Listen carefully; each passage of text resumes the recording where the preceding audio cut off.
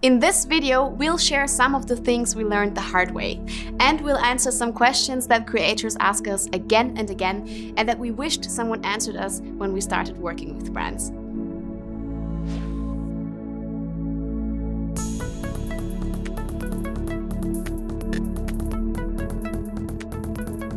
Get everything in writing, and this starts with the quote. If you agree on a price up front, in a call or in a meeting, Having everything in writing really helps you in that situation. You should define the timing in writing as well. So agree on deliverables and deadlines up front. Manage expectations. Don't expect something that you can't deliver. It's gonna bite you eventually. Make sure that everyone involved is on the same page and has a realistic view of what to expect of the final video. Communicating more here is always better.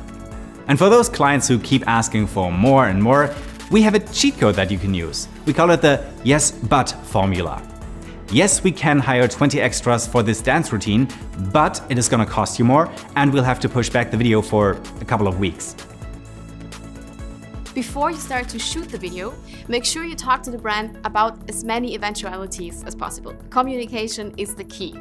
For example, define the number of feedback loops. With that, you're protecting yourself from unnecessary work that you're not being paid for, and no one wants that. And if you have a script or a treatment, just let the brand sign it off before you shoot the video, not afterwards. Sometimes a brand might ask you about exclusivity. That means they want you to only work with them and not their competitors. On the pro side, it limits the amount of brands you work with, and you don't come across as a sellout. Your audience really trusts you that you like the brand, but on the con side, you need to turn down other offers, which means you're losing money. And that money should be paid by the brand you work exclusively with. There is no traffic on the extra mile. Be passionate and professional but that much is pretty much expected of you. Always plan ahead for a little extra. Think of what else you can do that was not part of the deal. Maybe you can post a story about the collaboration, or you can shoot some behind the scenes footage that you can post on the community tab. Always be remembered as the creator who went the extra mile, who was great to work with, and who was just passionate about the project.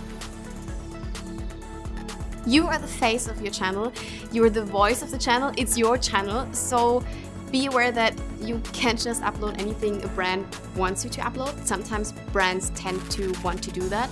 So don't give up all of your creative control. It's your channel, it's your decision what you want to upload. And no brand can tell you what you can upload and what you can't. And just be aware that you are being made responsible for what you upload and not the brand.